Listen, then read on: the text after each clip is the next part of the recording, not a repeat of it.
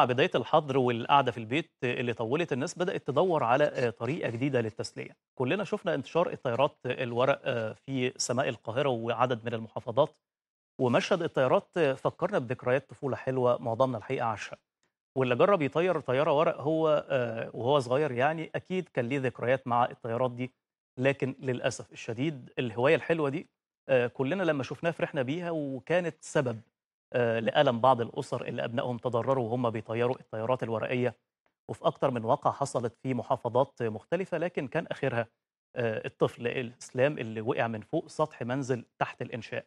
آآ مشهد سقوط إسلام مدته 25 ثانية اللي إحنا بنعرضه لحضراتكم دلوقتي، مشاهد مؤلمة جدًا حقيقة وتم تداوله على مواقع التواصل الاجتماعي بشكل كبير، فطبعًا إحنا بنحذّر لمّا كنا بنطيّر الطيارات دي زمان وإحنا أطفال، كان يقول لك خلّي بالك لإن الطيارة دي بتشِد، فهي بتكون فيها قوة والأطفال طبعًا بتكون خفيفة، آآ فمُعرّضين إن ممكن يحصل موقف زي اللي حصل كده آآ لإسلام.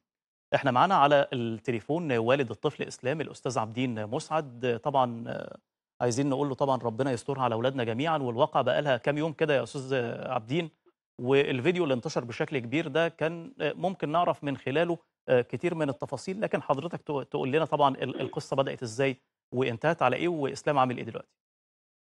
أهلًا وسهلًا أهلًا بيك يا فندم. أهلًا بيك يا فندم. والله الحمد لله يعني آآ يوم الجمعة كنا الساعة 16:00 آآ دخلت عليّا بنتي ومامته وقالت لي: "الحق إسلام وقع من على البيت اللي جنبينا." آه. لبست وطلعت برّه لقيت يعني إسلام تعبان واقع من على سط سطح. ي يعني واقع من الدور الكام كده يا بيت أستاذ عابدين؟ إيه؟ يعني هو يعتبر من الدور الأولاني، الدور هو الأولاني. منزل تحت آه منزل تحت الإنشاء ورا آه. البيت بتاعنا. وهو عنده كام سنة إسلام؟ عنده 8 سنين حضرتك. 8 آه. آه. و وال مرّة اتفضل. يطيّر طيارة والّا كان معتاد إن هو يعمل كده؟ هو مش بيطيّر، ده هو البيت ورانا لقى أصحابه فوق البيت يا دوبه لسه طالع مش آه. بيطيّر، آه. ده هو بيمسك مع أصحابه. إمم. مش كان طالع يطيّر يعني. بس آه. يعني هو أصلًا ما كانش بيطيّر طيارات، كان طالع بس لا ما مع كانش مع أصحابه إن هو هو طالع يتفرّج آه أو لقى ناس يتابع فوق بس. السطح ال آه لقى آه. ناس فوق السطح ركب معاهم. آه. طب قُل لي قُل لي هو عنده يعني كام سنة؟ حضرتك قُلت لي 8 لكن آه حالته 8. الصحية دلوقتي إيه أخبارها؟ والله هو يعني الحمد لله يعني كويس، عنده يعني شِبه ارتجاج في المُخ. آه.